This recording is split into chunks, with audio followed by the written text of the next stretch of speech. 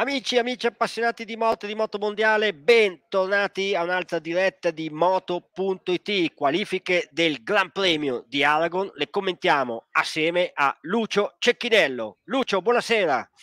Ciao, Ciao buonasera. Lucio. Ciao Lucio, grazie di essere mio ospite. Allora. Lucio, quando io uh, in settimana ho fatto così i miei conti, ho detto su chi invitare, vediamo un po' ho detto invito, voglio invitare Lucio Cecchinello perché sono sicuro che dopo le qualifiche parleremo di Nakagami e eh, Alex Marquez in prima, massimo seconda fila. Invece è andato un po' diversamente, insomma, no, per dire questo, che comunque pensavo che qui eh, la Honda e la vostra squadra potesse essere molto competitiva. Non è così, Lucio? Eh, purtroppo, purtroppo, non è così, non, non, siamo, non, siamo, stati in grado di trovare la migliore messa a punto. Tra l'altro, quello che ci rincresce un po' è il fatto che Nakagami lo scorso anno con la moto del 2019 qua aveva girato in 46.8, aveva fatto la pole position in 46.8 e e quest'anno è riuscito a fare un 47-1, 47-3, ha fatto 47-1 nelle, nelle, libere e poi dopo ha fatto un 47-3, quindi diciamo che sì, siamo, siamo, non ci aspettavamo questo risultato, speravamo meglio. Ma scusami Lucio, cosa significa questo? Che la moto di quest'anno è peggio di quella dell'anno scorso? Che... O, o che cosa? Guarda, ehm, è difficile anche per noi ehm, trovare una spiegazione. Ti posso solo dire che analizzando i dati di quei tre decimi che mancano, quello che è evidente è che perdiamo un po' ehm, nel, nell'accelerazione perché siamo un po' più lenti a fare il pick up della moto. Ci sono un paio di curve dove Nakagami ehm, riusciva a sfruttare di più l'accelerazione eh, con, in, con la moto che utilizzava lo scorso anno, quindi nel 2019, e riusciva a fare un po' meglio il pick up e, e, e, aveva proprio questa tendenza a riuscire a fare meglio il pick up. Quest'anno fa un po' più fatica a fare il pick up, nonostante eh, comunque il motore di quest'anno sia più performante della moto, del motore del 2019. Ma e quindi è una questione di ciclistica, mi viene da dire, andando per esclusione. Guarda, Guarda, eh, ci, sono, ci, sono, diversi fattori, mm, potrebbero essere, può essere, la, sicuramente può essere la ciclistica, possono essere le sospensioni, essere, può essere il, um, come lavorano le sospensioni, quindi anche proprio tutto il sistema del, del leveraggio e um, ti, direi, ti direi anche un po' forse la caratteristica del motore, uh, potrebbe anche essere quella, la caratteristica del motore quindi ehm, motore elettronica. Per cui ti posso dire che eh, gli ingegneri hanno proprio finito di lavorare poco fa e domani proveremo un setup di elettronica differente. Ecco Lucio, eh, c'è una domanda di Fabio che ti chiede, è vero che Honda sta cercando di offrire ad ognuno dei quattro piloti una moto adatta a loro, portando quindi quattro moto differenti? Ma in realtà Honda cerca di standardizzare, eh, ovviamente per, per, ovvie ragioni di, di, di, semplicità, di condivisione di dati, di informazioni, eh, di, di, fabbricazione di, pezzi. Però la cosa positiva è che eh, loro port- hanno portato diversi telai quest'anno e diverse altre parti della ciclistica e non hanno mai forzato nessun pilota a dover utilizzare per forza lo stesso telaio, per esempio, che usa Mar Markets.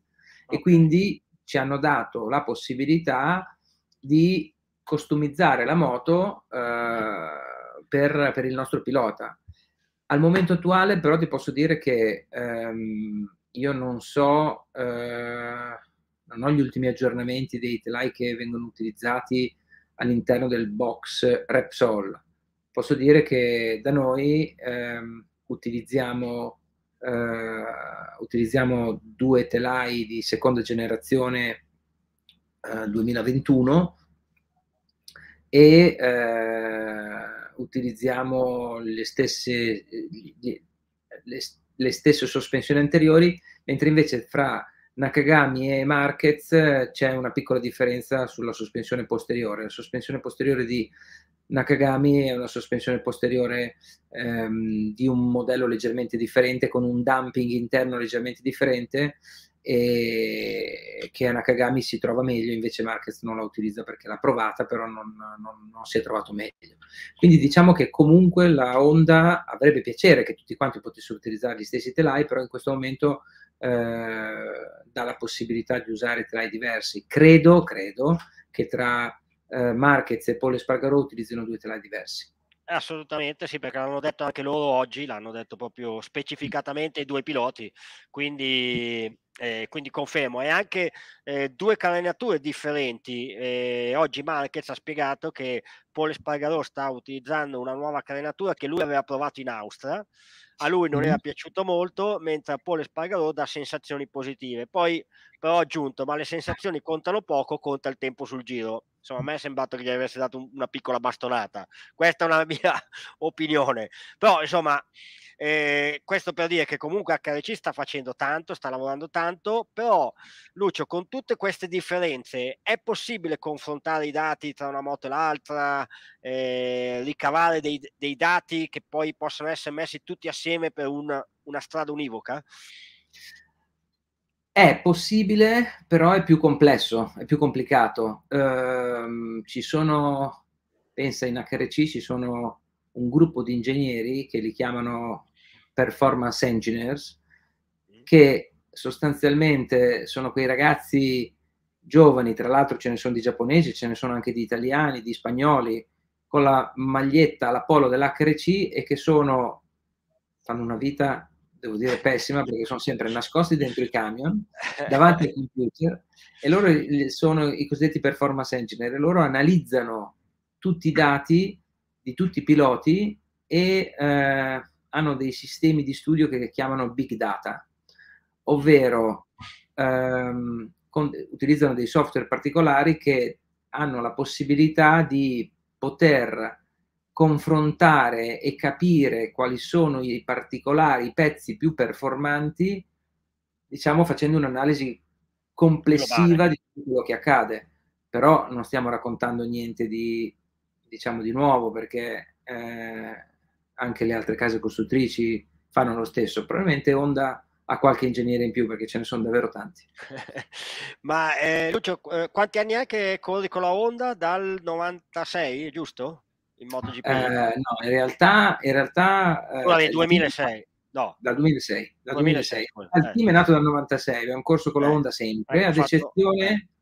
Beh, dal 96 in 25 anni, ad eccezione dal, tra il 2001 e il 2005 che abbiamo corso con la Aprilia. Ecco, no, però in MotoGP dal 2006 con la Honda. Ecco, in tutti questi anni, questo è l'anno più complicato per la Honda, secondo te, dal punto di vista tecnico? Allora, ehm, io non voglio parlare di un anno complicato per la Honda, io voglio parlare piuttosto di un anno in cui, eh, per una serie di, di fattori, probabilmente gli altri, i competitor, sono andati più avanti rispetto a Honda. Um, non dimentichiamoci che Marquez nel 2020, inizio 2020, quando alla gara Jerez si è fatto male, con quella moto, in quella configurazione, lui dava un secondo a tutti, se non un giro a tutti. Ci ricordiamo la rimonta che ha fatto, le rimonte che stava facendo. Per cui devo dire che quella base di quella moto era un'ottima base ed era considerata un'ottima base. Per cui quando dopo lui si è fatto male, probabilmente non è più... Eh, non c'è più stata quell'esigenza di dover fare dei cambiamenti importanti eh, e, e, e, fare uno sviluppo molto molto diciamo importante, eh, sì. importante, perché comunque quella base era un'ottima base. Certo.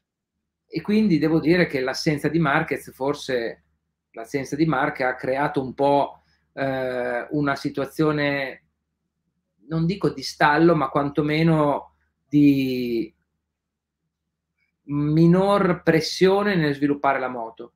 Poi quando Mark è tornato, devo dire che a mio avviso Ducati, KTM, Aprilia, Yamaha stessa, hanno fatto degli step in avanti importanti e, e, quando Mark è tornato un po' la sua situazione fisica doveva essere, doveva essere ripresa, un po' la Honda che ha anche cambiato i piloti, eh,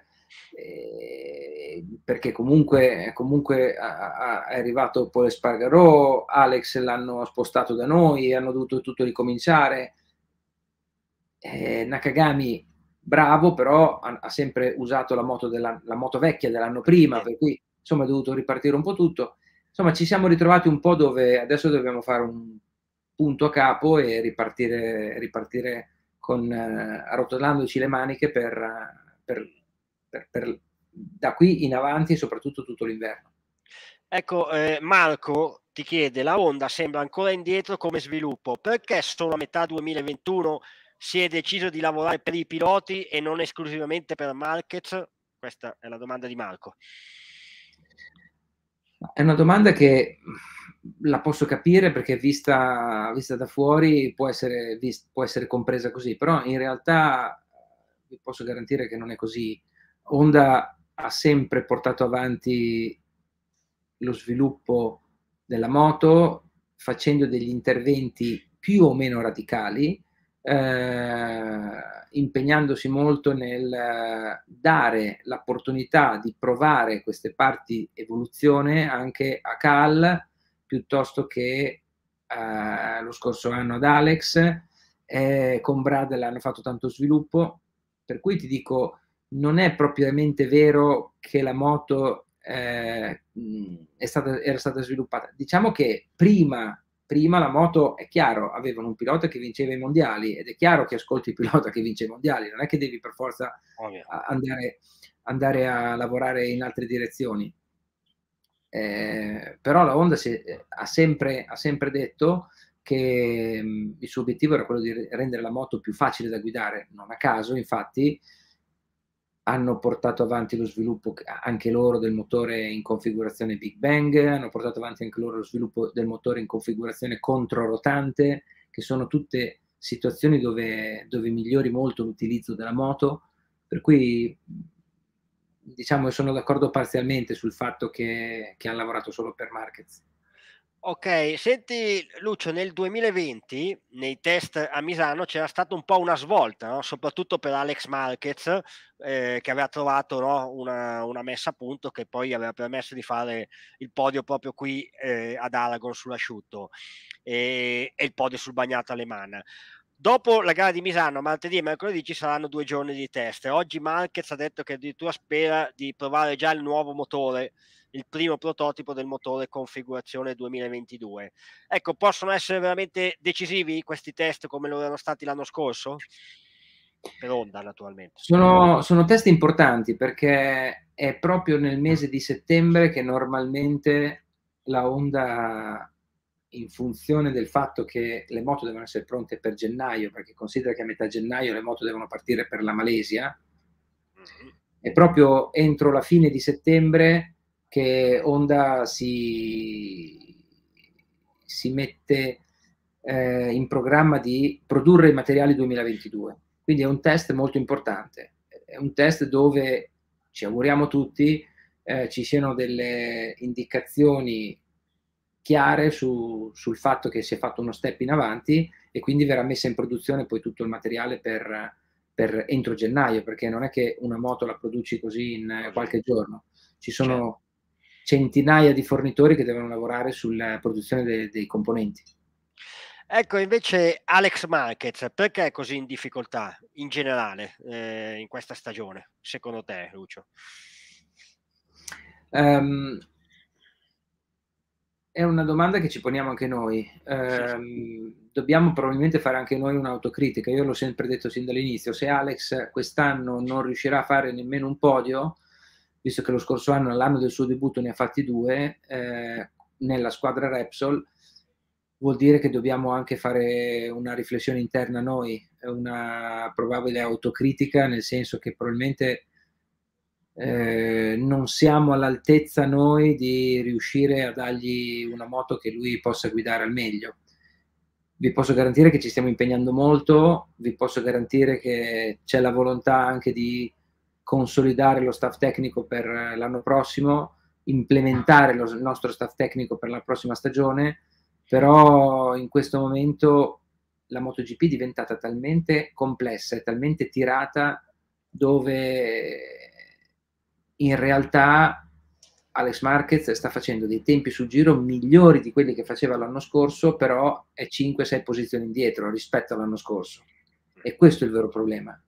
E il vero problema è che gli altri hanno migliorato di più e probabilmente anche noi non siamo ancora in grado di, di aver capito che cosa ha bisogno Alex per, per andare forte. Ecco, chiedo a Luciano Lombardi, che come sempre mi assiste in regia, se può mettere in sovraimpressione la classifica delle qualifiche.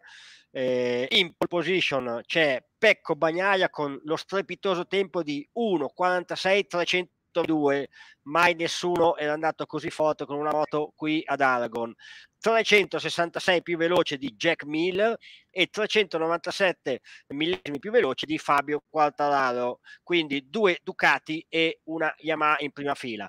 In seconda fila abbiamo Mark Marquez, staccato di 414 millesimi, con Jorge Martin e Aleix Espargarò con la Priglia terza fila la Suzuki di John Mir con Paolo Spargaro ottavo e Nea Bastianini bravissimo nono. Quindi in quarta fila Zarco, Nakagami e Binder. Quindi nei primi 12 abbiamo comunque tutte e sei le case. Eh, Alex Marquez è quattordicesimo Danilo Petrucci sedicesimo ma, eh, Luca Marini diciassettesimo Vignales con la Priglia diciannovesimo e Valentino Rossi ventunesimo allora, eh, Lucio, io nel titolo avevo messo, lo vado a riprendere perché sono già stato subito cazziato da un lettore, che io avevo ho scritto una roba, adesso non me lo ricordo nel dettaglio, ah, ce l'abbiamo scritto qua, Bagnaia favorito, ma attenti a Marquez. E 5 i5 ha scritto eh, nell'FP4 erano in tre a girare in 48 basso, c'era anche Quartararo. Perché allora nel titolo si parla solo di Bagnaia e Mark Marquez? A parte che il titolo deve essere una sintesi e non possiamo mettere cento noi, ma al di là di questo, lo stesso Quartararo ha detto non ho il passo per giocare il podio, almeno per il momento. Eh, tu come lo vedi? Bagnaia, Marquez? Facciamo un po' un quadro generale.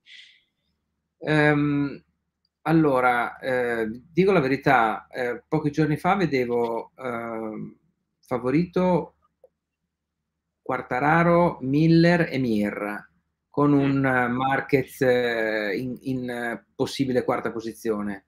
Devo dire che in questo momento vedo, non mi, non mi aspettavo Bagnaia così veloce, posso dirti che eh, da quello che abbiamo visto oggi nell'FP4, Mark con le gomme usate ha un passo molto buono. Molto buono. Sì, assolutamente. Sì, ha un passo molto buono. Eh, c'è anche da dire che le Ducati, ricordiamoci che le Ducati hanno un vantaggio eh, un po' superiore alla media sul tempo sul giro quando devono fare il giro secco sulle prove perché hanno il sistema di abbassamento della moto che funziona molto bene riescono ad attivarlo un po' prima di noi, riescono ad abbassare la moto un po' meglio, un po' di più della nostra, eh, hanno un motore probabilmente anche leggermente più potente, ma devono rinunciare a un po' di prestazione durante la gara per finire la gara, perché sennò mh, consumerebbero troppo. Quindi devo dire che molte volte temponi che fa la Ducati, poi dopo in gara si stabilizzano un po'. Honda invece è una moto un po' più eh, diciamo meno estrema dal punto di vista del, del, del, giro secco ed è una moto ben bilanciata anche in termini di consumi, in termini di gestione dei pneumatici, quindi mi aspetto sicuramente un, una bella lotta tra Miller, Bagnaia, Quartararo, ma io ti direi che ci sarà anche Mark Marquez. Ma eh, può vincere Marquez, secondo te? Um, Mark è, è, è, riuscito a fare delle cose, è, riuscito a fare delle cose eccezionali, imprevedibili. Uh, ti, direi, ti direi che come per, vedrei un po' più, uh, un po' più uh, favorito per la vittoria, vedo un po' più Quartararo. Ah, addirittura. Sì. Quindi non ci credi quando lui dice che in questo momento non ha il passo per salire sul podio e quindi dai rag- ragione al lettore che mi ha cazziato prima. No, Quartararo, eh, Quartararo secondo me domani farà una bella gara. È vero che le Ducati sono velocissime, però ti ripeto, eh, la, lo setup pronti via di gara, la Yamaha è una moto molto bilanciata, Quartararo è in splendida forma. È vero anche che, visto che c'è un mondiale di mezzo, potrebbe accontentarsi e quindi chi potrebbe ehm, approfittarne potrebbe essere veramente Marquez piuttosto che Bagnaia che ha una gran voglia di, di fare dei risultati. Ecco, eh, Lu- Lucio, quanto eh, siamo qui tutti che attendiamo la prima vittoria di Bagnaia perché insomma quest'anno sì. in più occasioni è stato eh, protagonista ed è partito come favorito. Poi per diversi motivi, sbagli suoi, le gomme, sbagli tattici, insomma, non ha, non ha vinto. Eh, allora, quanto è importante per uno come Bagnaia vincere? Come per tutti i piloti, cioè voglio dire, quando tu hai vinto il primo Gran Premio hai, no. hai cambiato? Sei diventato un altro sì, cecchinello? Ma guarda, è, è, strano quello che succede perché quando vinci un Gran Premio acquisisci una, mh, ancora una maggiore sicurezza, che questa sicurezza ti, si, si, si trasforma in una, in una ma, in più energia che, che, che, rilasci in pista, ancora un livello di concentrazione ancora più alto perché, perché hai la consapevolezza definitiva, provata del fatto che tu sei riuscito a, a, vincere, sei uno di quelli che possono vincere e quindi ti fai un ulteriore step. Ed è per questo che ti dico, eh, noi speravamo tanto che il nostro Nakagami riuscisse a fare almeno un podio quest'anno perché l'anno scorso ci è andato vicino molte volte, eh sì. anche quest'anno con dei quarti posti, e purtroppo, purtroppo non ci è riuscito. Però secondo me Nakagami è un altro che quando riesce ad andare sul podio farà un, un, uno step. Può andare sul podio domani Nakagami? Non credo, almeno vedere il passo. Mm, non credo, non credo che abbiamo il passo. Abbiamo un passo che può stare lì con i primi 5-6, quello sì, quello sì, perché tieni presente che il tempo in qualifica eh, lui purtroppo è, è, è, ha fatto il giro di rientro in pista con il secondo set di pneumatici un po' troppo lento e per tre secondi ha preso la bandiera e non è riuscito a fare un secondo giro. Se faceva un secondo giro, secondo me un 47-1, un 47-0 lo faceva, poteva partire nei primi 7-8. Ok, senti, tornando invece a Bagnaia, eh, a te è capitato di sfiorare tante volte la vittoria e di non riuscire mai a, a, conquistarla e voglio dire come ti senti? Il pilota cioè, ha, ha, questa frenesia dentro che deve vincere a tutti i costi o no? Um, diciamo che il podio è sempre qualcosa di importante che, che dà comunque una, un grande livello di soddisfazione al pilota. Però eh, la vittoria è un'altra cosa. Eh, la vittoria è un'altra cosa e, e Bagnaia lo sa perché comunque ha vinto un sacco di gare mondiale ha vinto un mondiale, ma ha vinto un sacco di gare, quindi lui sa proprio esattamente che cosa può portare alla vittoria. Eh, questa pole position ha dimostrato ancora una volta che è un pilota velocissimo, poi è giovane, secondo me se la Ducati, anche se non dovesse vincere adesso, la Ducati eh, a mio avviso se lo terrà stretto perché è italiano, è un bel ragazzo, comunica bene, è bravo, si, si comporta bene penso che ha tutte le caratteristiche per essere un pilota Ducati che può vincere in futuro.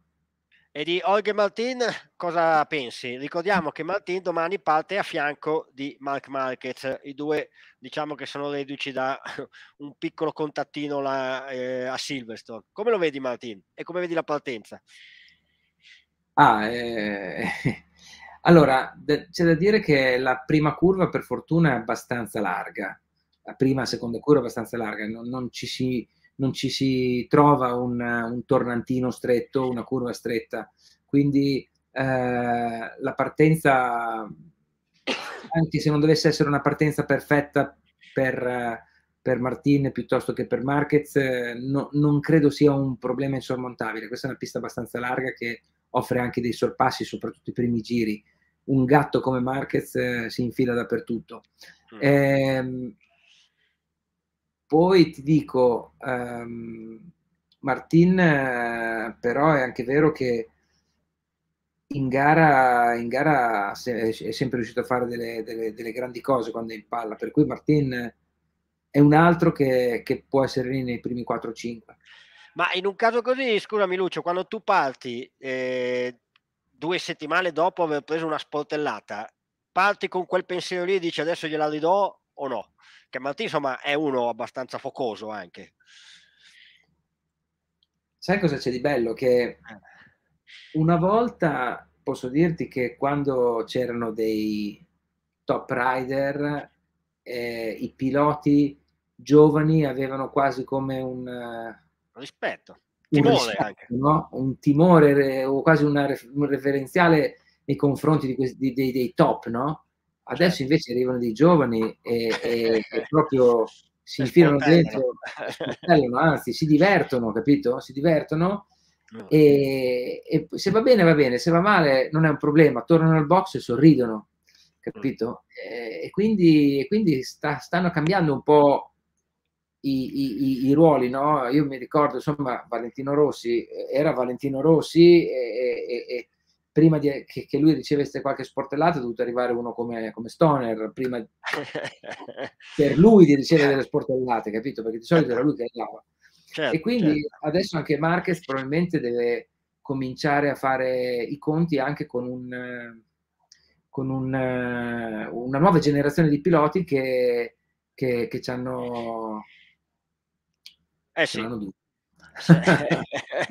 Tra l'altro, come ha detto anche oggi Olga Lorenzo, che Lorenzo è tornato in circuito eh, molto rilassato, molto sereno, un filo sovrappeso rispetto a quando faceva il pilota, ma è giusto che sia così. Comunque lui dice Marquez, anche quando tornerà in forma come lo era prima, sperando che possa tornare al 100%, comunque troverà degli avversari più consapevoli delle loro possibilità e più consci di poterlo battere. È così? Sei d'accordo? Sì, assolutamente. Assolutamente. Ecco. Sono assolutamente d'accordo, mi trovo in linea ed è quello che, che ho detto io, eh, assolutamente. Ehm, è un po' l'evoluzione dello sport eh, che stiamo vivendo ed è anche bello così, la MotoGP è anche bella assolutamente.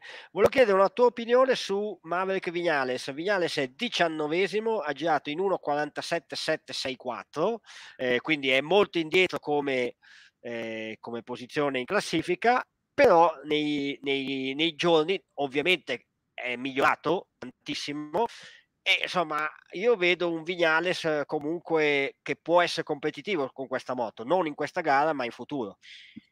Guarda, io dico sempre che i piloti che crescono eh, su un, um, una moto che ha una configurazione del motore 4 cilindri in linea, che tendenzialmente è una moto che ha un po' meno di prestazione in termini di velocità massima, ma è più pastosa, è più regolare, gira meglio, riesce ad aprire il gas prima.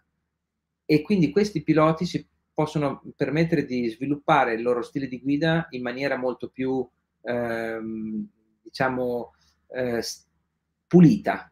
Mentre invece i piloti che salgono su una moto configurazione V possono contare su una prestazione di motore leggermente superiore, però una moto che va forzata un po' di più per farla girare e una moto anche magari anche un po' più difficile a, a, a, all'apertura del gas, quindi con una curva di coppia un po' diversa. Quindi, secondo me, Vinales ha proprio bisogno di tempo per cercare di interpretare, di capire come devi guidare una moto, non la Priglia, ma come devi guidare una moto in configurazione AV. E, e, ed è vero, perché guarda anche Jorge Lorenzo è sceso dalla, dalla Yamaha, è sceso dalla Yamaha, è andato sulla Ducati, ci ha messo del tempo per certo. arrivare ad essere, ad essere Jorge Lorenzo che vinceva le gare con la Ducati. Ma tu te lo aspettavi comunque più veloce Vignales o è no, in linea con No, no, no, no, assolutamente. Io non me lo aspettavo più veloce, anzi, lo avevo detto in qualche altra intervista, ho detto secondo me si ritroverà a navigare dal quindicesimo posto in giù e ci vorrà del tempo prima di che riuscirà a prendersi le misure. Eh, bene, interessante. Senti Lucio, l'argomento so che è molto delicato, ma eh, dobbiamo affrontarlo. C'è un problema gomme in MotoGP? Guarda, eh, la verità è che il, la Michelin ha fatto un posteriore con una costruzione differente eh, che effettivamente ad alcune case costruttrici, per come è configurata la moto, eh, non ha creato problemi, a noi ha creato forse un po' più di problemi in termini di grip sull'angolo massimo e anche grip anche proprio in termini di mi- minore slip. Diciamo che eh, anche per tornare al discorso di prima, no? perché Nakagami non va, c'è anche un discorso di, cioè non riesce a fare le prestazioni dello scorso anno, cioè può essere anche dietro nascosto un discorso di gomme, cioè che quella gomma Michelin che abbiamo adesso non è una gomma che eh, è adatta al nostro pacchetto ciclistica, ammortizzatore, forcellone e erogazione motore. Ok, eh, invece tornando ai pronostici, settimana prossima vedremo Dovizioso debuttare sulla Yamaha. Eh, allora, eh, di Vignale sei detto che ne, te lo aspettavi dalla quindicesima posizione in giù e ci hai preso. Di Dovizioso cosa ti aspetti? Ricordiamo che avrà una Yamaha 2019. Bravissimo, infatti io mi aspetto che Dovizioso farà meno fatica di Vinales a, a riprendere il ritmo perché eh, la Yamaha è una moto, è una moto più, più facile se vogliamo. Se tu guardi tutti i debuttanti che salgono su una moto con quattro cilindri in linea, quindi ti parlo di Yamaha e Suzuki, fanno meno fatica rispetto a, a, agli altri.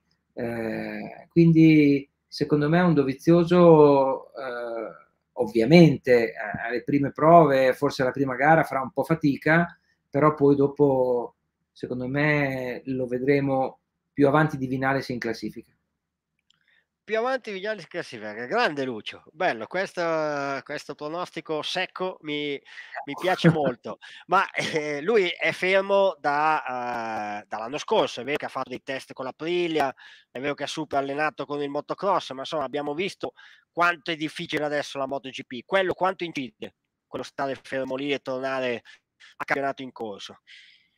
Eh, indice, eh, significa qualche decimo di secondo, che nella MotoGP di oggi qualche decimo di secondo è tanto. Mm. Eh, considera che eh, uno come Dovizioso, comunque con, con, tutta l'esperienza che ha, secondo me avrà bisogno di tre gare prima di riprenderci un po' il ritmo. Però in tre gare un test, considera anche che ci sarà il test a Misano e tutto, lui secondo me arriva, arriva insomma, a, a Portimao Valencia le farà, le farà la grande. Ecco, tra l'altro ricordo che è arrivata proprio oggi la comunicazione ufficiale della conferma del finale di campionato, quindi dopo Aragon naturalmente si va a Misano, è confermato il Gran Premio degli Stati Uniti, eh, poi si torna a Misano, quindi eh, Portogallo e Valencia. Quindi questo è sicuramente una buona notizia, anche se purtroppo negli Stati Uniti la situazione non è così così, così favorevole a causa del solito maledetto Covid. Allora, Lucio, andiamo un attimo velocemente a vedere la classifica della Moto 2 perché davanti a tutti c'è Sam Lowe's, davanti a Remy Gardner e Raul Fernandez. Ricordo che Raul Fernandez è stato operato a un dito perché si era infortunato con la bicicletta, quindi una grande prestazione la sua. Gli italiani, il più forte, il più veloce è stato di Gian Antonio, ottavo con Bezzecchi, nono. Eh, Gardner l'anno prossimo sarà in uh, MotoGP, Raul Fernandez sarà in MotoGP, eh, sarà in MotoGP anche Bezzecchi, anche se non è ancora stato confermato. Come li vedi questi piloti in MotoGP, Lucio? Um, guarda, eh, io penso che um, avranno bisogno di un po' di tempo. Considera che i primi test invernali per loro sarà uno shock, come è stato per tutti i piloti che dalla Moto 2 arrivano alla MotoGP onestamente tra tutti non lo so perché, ma mi aspetto un Garner che magari but- le, butterà, ne butterà in terra un po' di moto, però mi aspetto un Garner un po' più, un po più vivace rispetto in termini di risultati rispetto agli altri.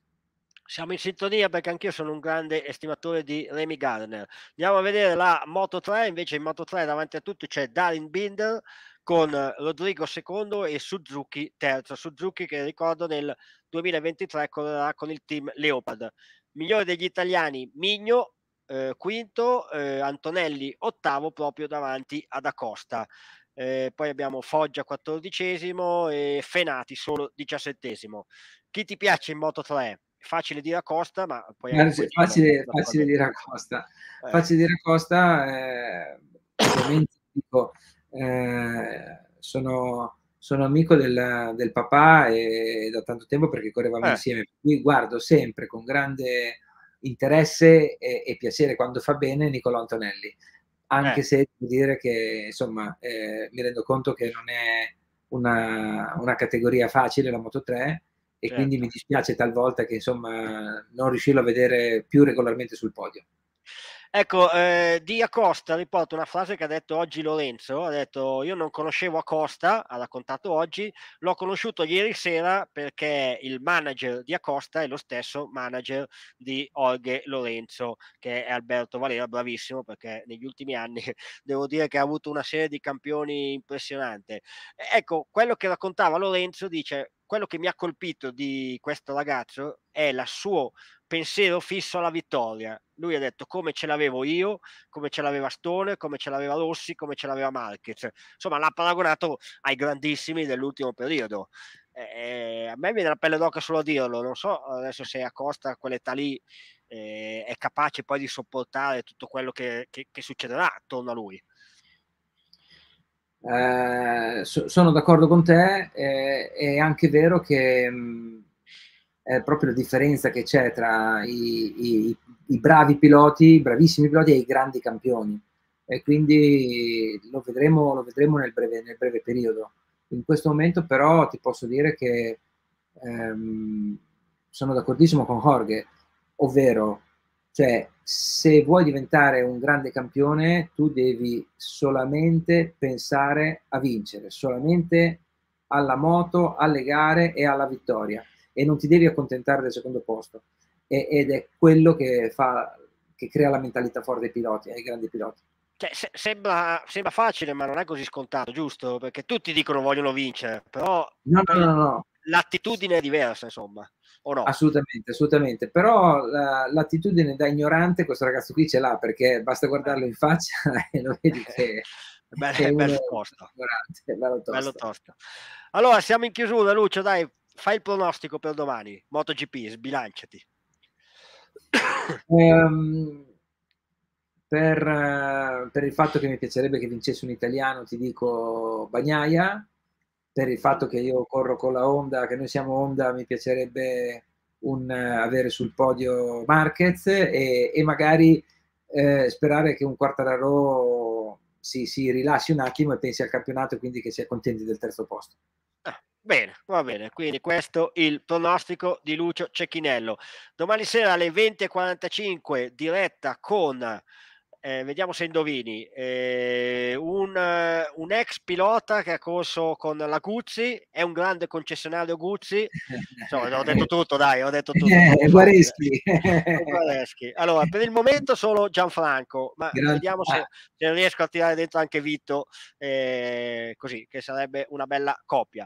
Io ringrazio tantissimo Luciano Lombardi in regia, ringrazio Moto.it per tutto quello che fa per il motociclismo, secondo me, e ringrazio soprattutto Lucio Cecchini Cecchinello per la sua grandissima disponibilità. Grazie Lucio e buona Piacere, serata. Ciao.